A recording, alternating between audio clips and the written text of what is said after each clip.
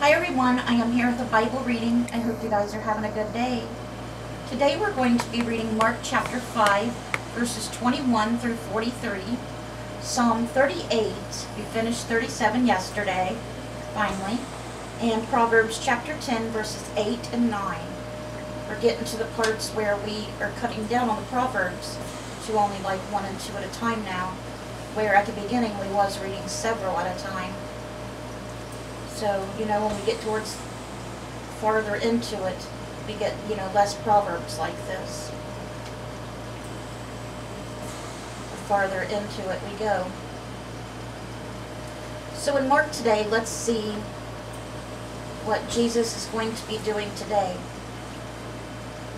We'll be talking about pretty much one one area today, and that'll be Jesus raises a dead girl and heals a sick woman.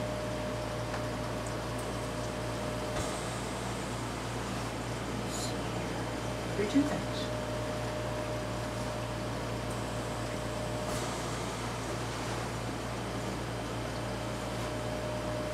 All right. Yeah, that's two things, but it's mentioned together in the title. Okay, so let's begin here. This is the one where he heals the woman that has had bleeding for 12 years. And she just said, you know, if I just, he was in a crowd. And he knew that someone touched him, even though he was in a very, very crowded place. She just touched the edge of his garment. And she knew if she just touched the edge of his cloak, she'd be healed. And she was. And Jesus knew she touched him out of all those people, but he asked, Who touched me? just to see if she would admit to it. And she did. He told her, you know, because your faith, you are healed. And then the little girl, she died, but Jesus brought her back to life. You'll see. That was Jairus' daughter. All right, so let's begin with Mark. When Jesus had again crossed over by boat to the other side of the lake, a large crowd gathered around him while he was by the lake. Then one of the synagogue leaders, named Jairus, came, and when he saw Jesus, he fell at his feet. He pleaded earnestly with him, My little daughter is dying. Please come and put your hands on her so that she will be healed and live. So Jesus went with him. This is one of the synagogue leaders. Where was Jairus? Was he pleading for Jesus' life? When the other teachers of the law and stuff, the other leaders were pleading for him to be killed? Was he on the people, was he on Jesus' side? You know, I just wonder these things. I know it was meant for Jesus to go through this, but I just wonder who was on his side and who wasn't, you know. My little daughter is dying. Please come and put your hands on her so that she will be healed and live. He knew Jesus could do it. So Jesus went with him. A large crowd followed and pressed around, and a woman was there who had been subject to bleeding for 12 years, non-stop, been bleeding for 12 years. She had suffered a great deal under the care of many doctors and had spent all she had. You know how some doctors like to experiment, and back then it would have been a lot, lot worse. They'd done some crazy experiments, especially on women, and they weren't always pleasant. Yet instead of getting better, she grew worse. When she heard about Jesus, she came up behind him in the crowd and touched his cloak because she thought, if I just touch his clothes, I will be healed. Immediately, when she touched his clothes, the bleeding stopped immediately, and she felt it in her body, and she was freed from her suffering. At once, Jesus realized that power had gone out of him.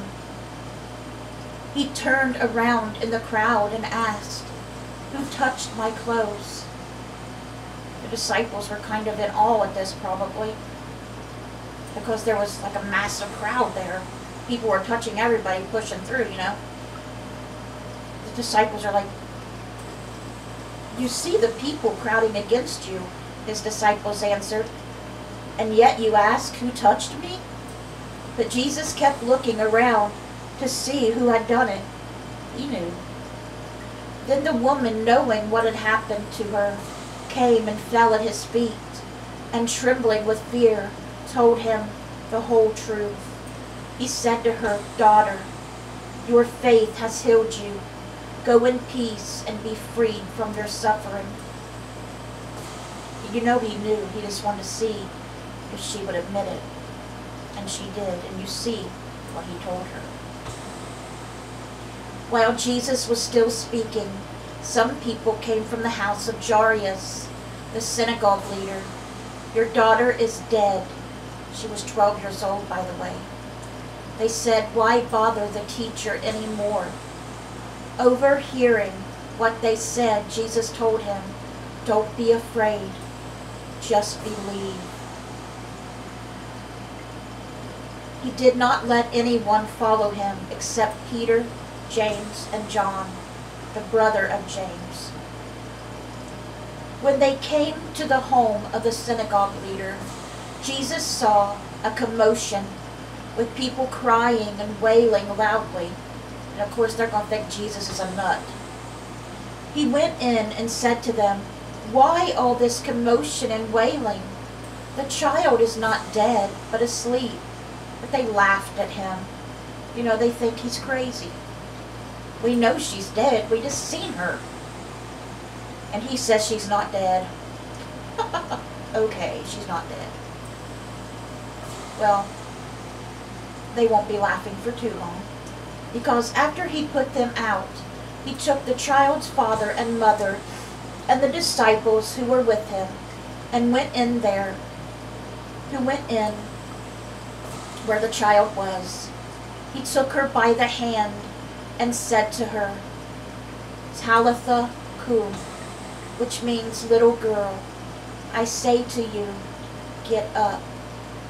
Immediately the girl stood up and began to walk around. She was 12 years old. At this, they were completely astonished. He gave strict orders not to let anyone know about this and told them to give her something to eat. But I'm sure the people outside went and spread the word very quickly, like most people did when something happened that we're told not to tell. And that's where we're going to stop with Mark today. And now we're going to go to our psalm, which is Psalm 38 today, a psalm of David, a petition.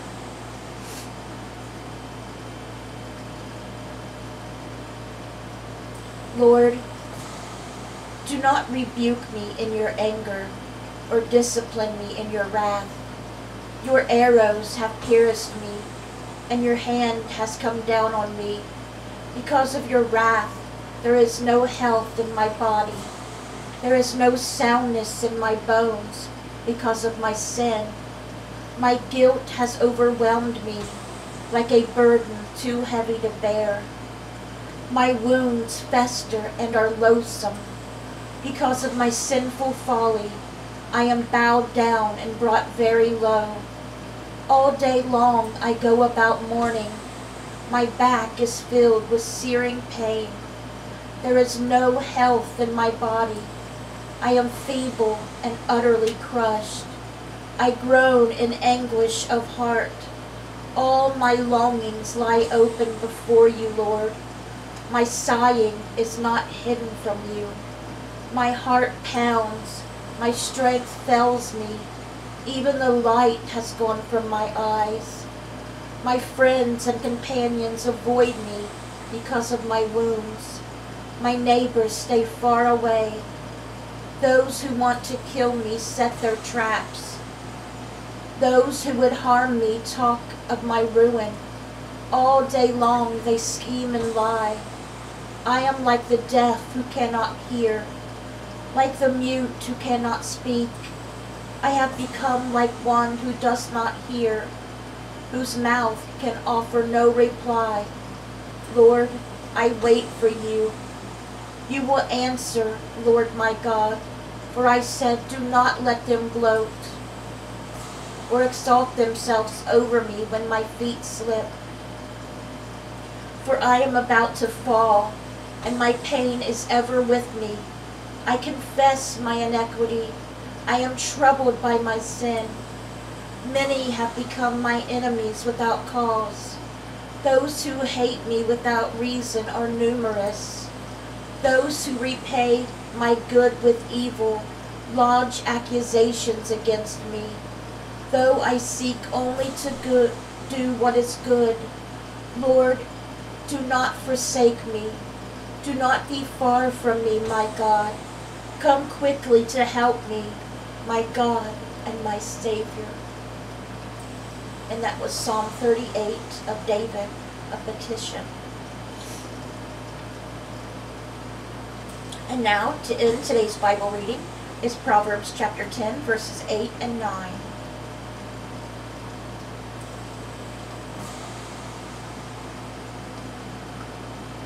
The wise in heart accept commands, but a chattering fool comes to ruin.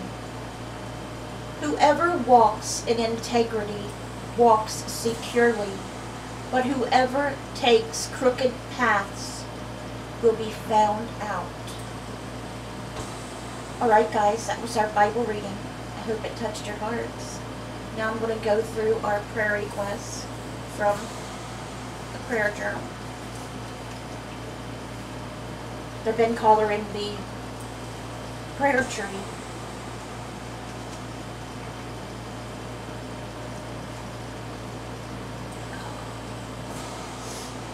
Okay, please keep the following people in prayer.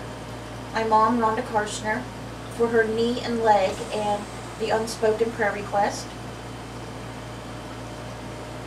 It's for a good thing. Pray that it happens. Um, for sure, still recovering from this COVID.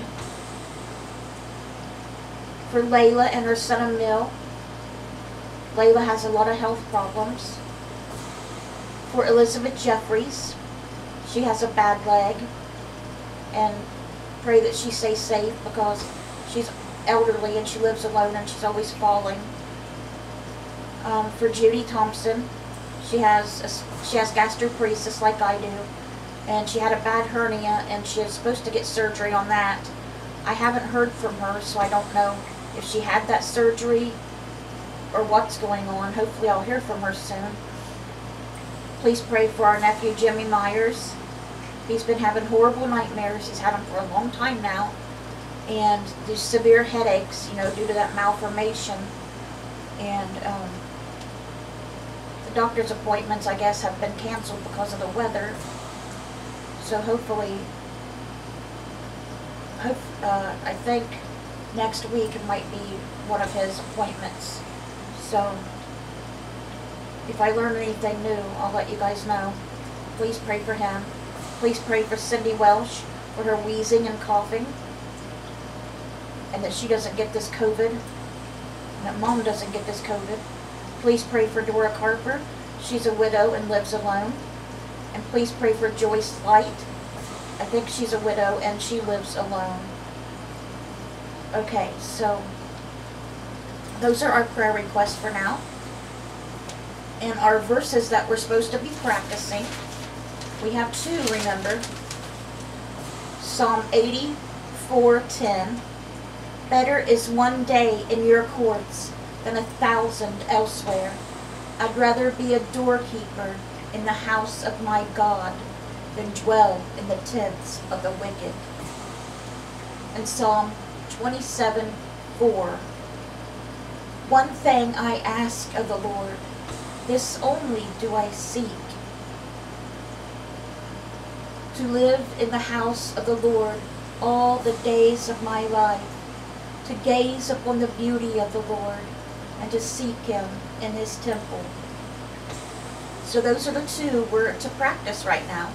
And I'll eventually start adding some more on. I have one right now that I want to add on, but I'm going to give us a little while to get to, you know, memorize those two before I add it on.